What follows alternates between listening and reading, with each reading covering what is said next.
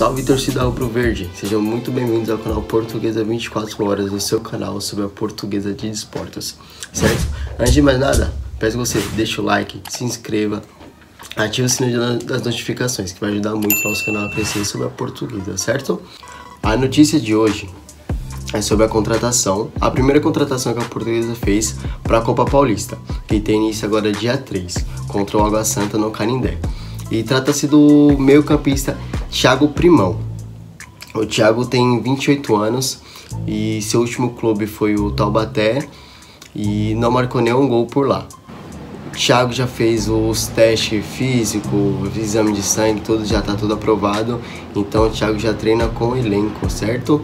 E o Thiago tem sua formação no Curitiba e tem algumas passagens por alguns clubes tradicionais do Brasil, como Santa Cruz, Paysandu, Atlético Goianiense, Londrina e entre outros. Também já estou no Catar, fora do Brasil. E o Thiago tem um contrato da, com a portuguesa até o final deste ano.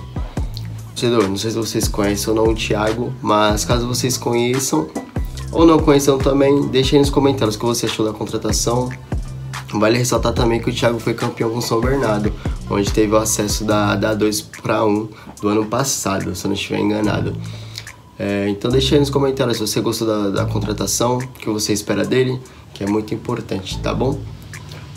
Mais uma vez, deixa o like, compartilha, se inscreve no canal e vamos fazer crescer esse nosso canal da portuguesa. Valeu, tamo junto e até a próxima.